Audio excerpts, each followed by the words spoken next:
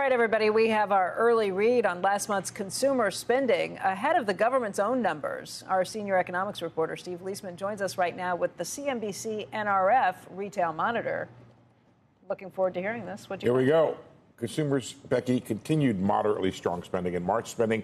That looks even better when you consider that inflation, the consumer side of inflation, is flat and even negative when it comes to goods the CNBC NRF retail monitor. We get real credit card spending data from Affinity Solutions. It shows retail sales ex autos and gas. That's our headline number, up 0.4%. That compares with a 0.4% gain in February. Uh, year over year remains the same at 2.7. And then do core retail, which takes out restaurants, and we're 0.2 versus 0.3. But don't get too excited because it's 0.23 versus 0.27.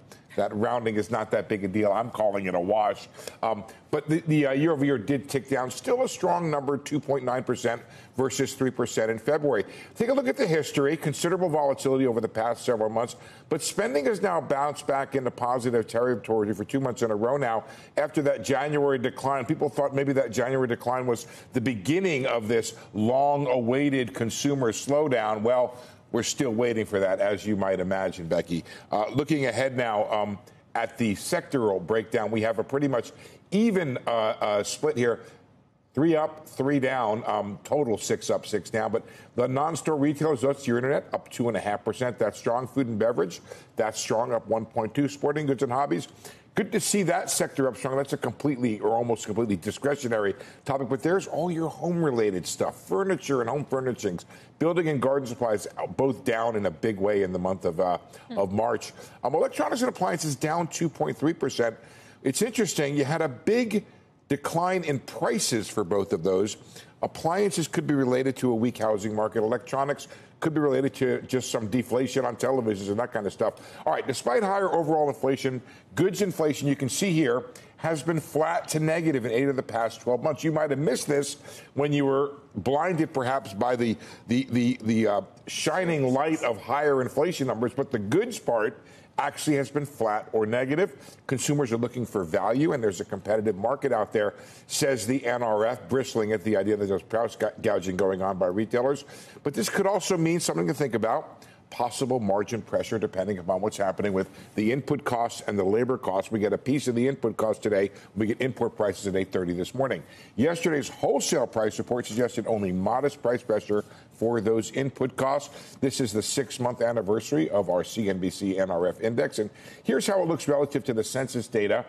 I'm going to say this looks um, relative to the data, generally tracking it a bit more stable. Of course, we don't have to revise this data because we're using real data on the inputs from credit cards. We get the um, census guys on Monday, the retail sales report, um, and this number here is in line with where the consensus is on the census retail data. Okay, I want to take this and add it to what we heard earlier this week from the Bank of America Institute. Okay. Because they actually saw spending up for the month of March. I think it was a gain uh, on households because they're looking at real households too. They have something yeah. like 69 million households and small businesses that they're watching.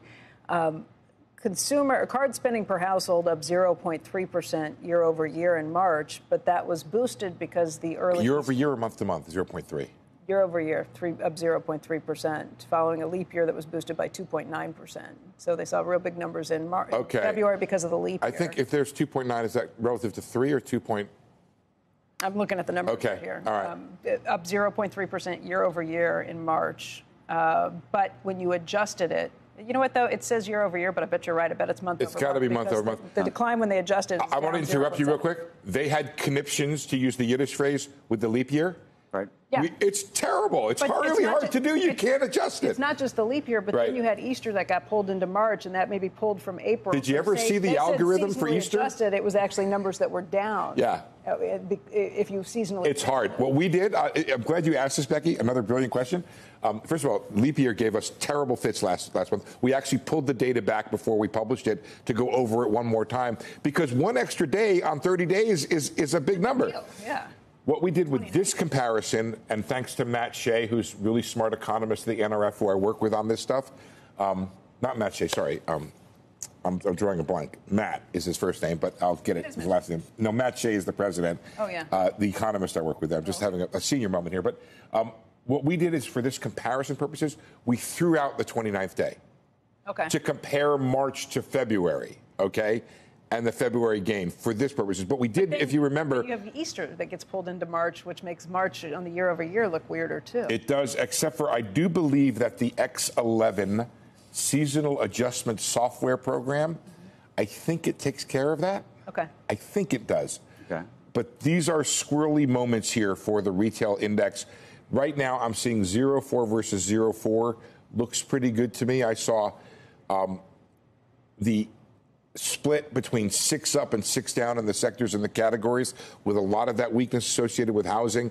That makes sense to me. I still see a good amount of discretionary spending going on. What I think matters here is we're my overall take on the economy right now is there are a lot of risks out there, but not a lot of evident weaknesses. Risks become weaknesses, so I'm, I'm worried about that we have the risk of the consumer slowing down. Right. I don't see the weakness of this consumer slowdown. Because we have been looking for this for We a very, how long? for a very long a very time. a very long time, and I'll get you. all all such concerns to this point.